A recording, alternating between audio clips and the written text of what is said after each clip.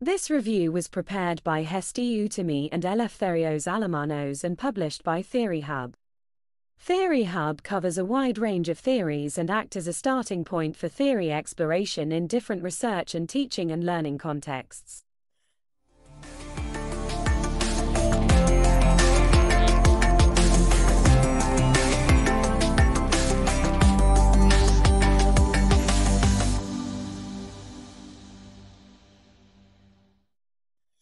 This is a review of the resource-based theory.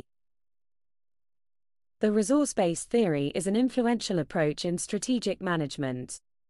It has been widely applied as a managerial framework to determine vital resources for a firm to achieve a sustained competitive advantage. The theory provides an essential framework to explain and predict the fundamentals of a company's performance and competitive advantage.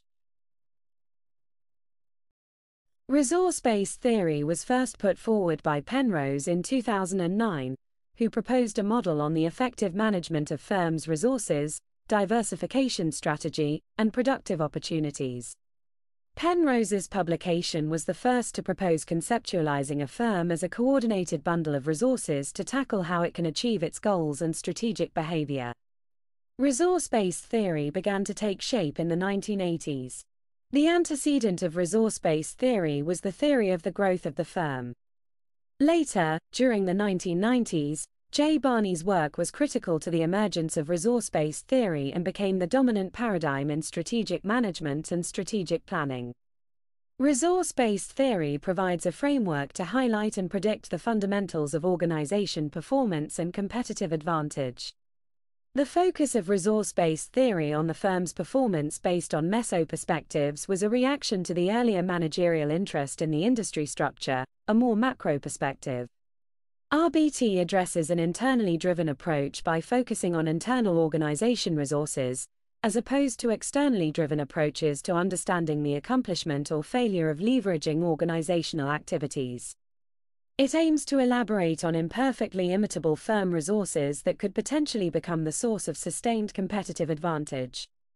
There are two underlying assumptions of the resource-based theory related to the explanation of how firm-based resources generate sustained competitive advantage and why some organizations may continually outperform others by gaining higher competitiveness. First, the bundles of resources owned by firms are different from each other. One of the cornerstones of resource-based theory is the heterogeneity of resources and capabilities in a population of firms, which differentiate the competitive advantage of each firm. The heterogeneity of resources assumes that a firm possesses unique resources in a specific situation can potentially be more skilled to perform particular activities and create competitive advantage. Second, the complexities of trading resources across firms may create persistence in differences in resources. The assumption of resource-based theory is that organizational characteristics are not merely modified. The organization needs to correct its orientation if it is to succeed and achieve sustainable competitive advantage. The dominant paradigm in determining a company's profits potential suggests that a firm's internal factors, such as resources and capabilities, determine a firm's profit. The seminal work about strategic resources by Barney became the fundamental contribution to resource-based theory. It guided the transformation perspective of the resource-based view into a developed theory as resource-based theory. However, the traditional resource-based theory does not elaborate on why and how some firms gain a competitive advantage in circumstances of unpredictable and rapid change. The development of a broader resource-based theory perspective suggests that firms can achieve competitive advantage not only by utilizing critical assets, but also by building new potential capabilities via learning, skill acquisition and the accumulation of tangible and intangible assets over time. The resource-based logic suggests that if valuable resources are possessed by few firms, those firms that are able to control these resources potentially to generate sustained competitive advantage. Hence, firms can achieve an advantage by continually recombining or reconfiguring diverse types of resources and by creating new applications to meet market demand. In resource-based theory, resources refer to business processes, capabilities, the firm's attributes, knowledge, information, and other assets controlled by a company to comprehend and implement strategies aiming to enhance efficiency and effectiveness. The source of firm resources can vary, coming from both within and outside the organization. Internal resources are, for example, research and development, capabilities logistics, brand management and low-cost processes, while the examples of external resources are the role of suppliers, customer demand and technology change. Company resources can be grouped into three categories, namely physical capital resources, human capital resources and organizational capital resources. Physical capital resources refer to company equipment, plant, its access to raw materials, geographical location and they include the physical technology utilized by a company. Human capital resources encompass experience, intelligence, training, judgment, relationships, and insights from employees, such as managers and workers in a company. Finally, organizational capital resources refer to a company's formal structure, the company's formal and informal system, which comprises planning, managing, and coordinating systems. Organizational resources also relate to informal relations amongst divisions within a company and the relationships between a company and its business environments. Categorization of company resources can also build upon two groups of tangible and intangible assets.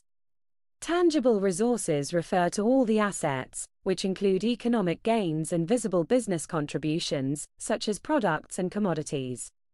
Intangible resources comprise all the assets possessed by a company related to the access to capabilities and knowledge as well as organizational, strategic, and social benefits.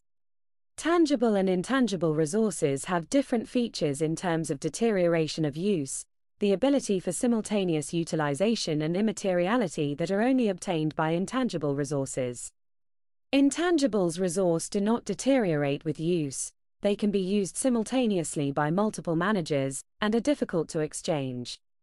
On the other hand, tangible resource can deteriorate with use, may or may not have the ability to be used simultaneously by different managers, and can be exchanged. The second central construct of resource-based theory is capabilities. It represents a subset of the company's non-transferable company-specific resources that aim to improve the productivity of obtaining other resources. Capabilities can manifest themselves in various forms and generally consist of tangible or intangible processes and information that help a company to create efficiency and improve its productivity. However, dynamic capabilities can continuously create, extend, upgrade, protect, and keep relevant the enterprise's unique asset base in a changing environment. Resource-based theory includes four conditions to assess whether a resource has the potential to become and generate a sustainable competitive advantage. The four conditions are value, being rare, immobility and sustainability. These four terms are known as the Value Rare Immobility Sustainability Framework. They are the characteristics that a firm must have as the strategic planning reference and hold the prospect of sustained competitive advantage. First, the resource must be valuable, which refers to a condition that exploits the opportunities or threats in a firm's environment. For example, a company may have a secret formula to produce a specific product that only this company has. Second, the resource must be rare, in the sense that it is rare or unique among the firm's current and potential competition. For instance, a company may have the capability of a worldwide distribution network. Third, the resource must be imperfectly imitable. That means that the valuable and scarce resources owned by a firm cannot be easily obtained by other firms who do not possess these resources. An example of an imperfectly imitable condition is a globally recognized product or company brand, which has no equivalent capability or resource that could be used by others. The fourth and final condition is that the resources cannot be strategically duplicated or substituted, that they are neither rare nor valuable or imperfectly imitable by other firms. An example of the non-substitutable condition is the portfolio of popular trademarks that are legally protected, making it a non-sustainable resource. The value rareness inimitability sustainability model was later replaced by the value rareness inimitability organization model. The new model proposes the new criteria of the organizational embeddedness of a resource. This criterion proposes the importance of an organization. It suggests that an organization should exploit resource.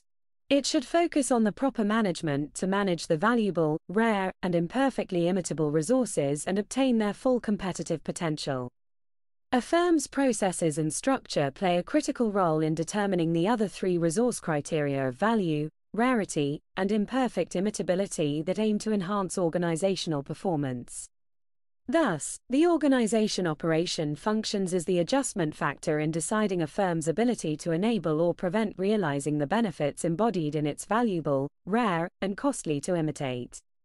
The resource-based theory assumes relationship between the organization resource heterogeneity and immobility and the four critical parameters for resource-based analysis to achieve sustained competitive advantage. Beyond being used in strategic management, resource-based theory has been adopted and applied in other business management areas, both in a qualitative and quantitative manner. To date, the application of resource-based theory has been extended to various business studies such as marketing, operational management economics, supply chain management, information systems, and entrepreneurship. Numerous studies have set out to examine the link between resource-based theory and its implementation for various business purposes, for example, firm performance, big data analytics, firm dynamic capabilities, purchase and supply management practices, marketing capabilities, innovation and strategic information systems.